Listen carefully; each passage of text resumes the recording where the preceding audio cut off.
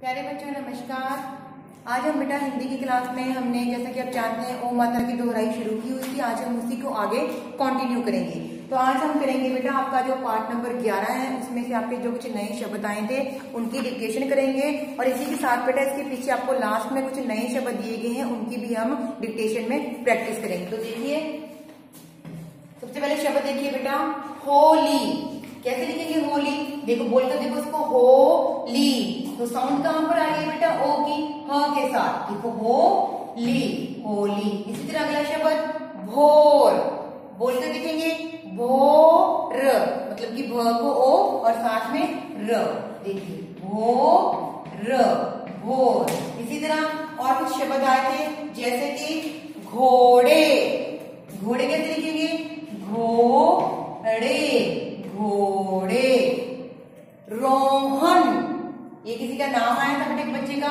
देखो, रो, ह, न, रोहन। आपने बेटा इस लेसन को एक बार अच्छे से रीड करना है। इसके पीछे आपको बेटा लास्ट पेज पर यहाँ पर कुछ नए शब्द दिए गए हैं। इनको भी आप पहले एक बार रीड करेंगे, फिर आप अपने मम्मा से इन शब्दों को बुलवाएँगे और आपने इनको कॉपी के ऊपर लिखना है।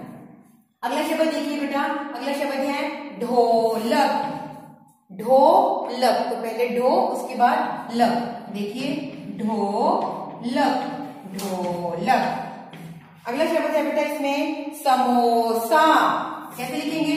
स मो सा बोल बोल कर लिखेंगे बेटा।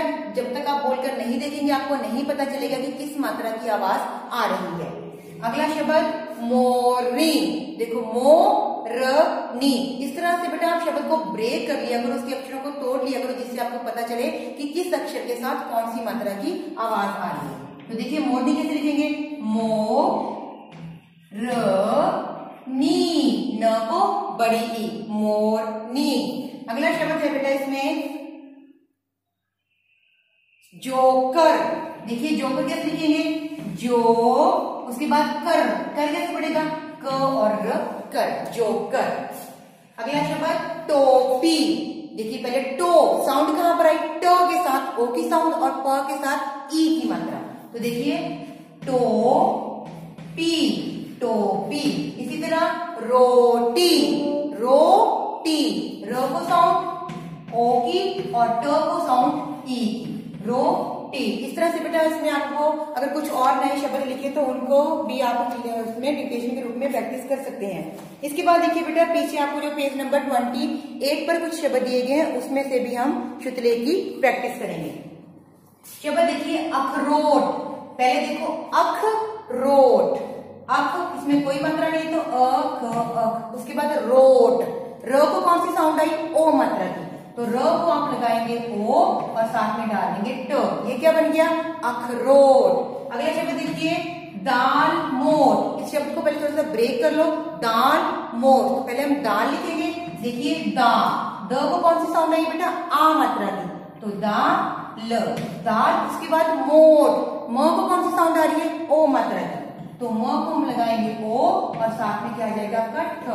दाल मोट अगला शब्द है बेटा आपका दोपहर अब देखिए दोपहर कैसे? दो, द को ओ, पहर।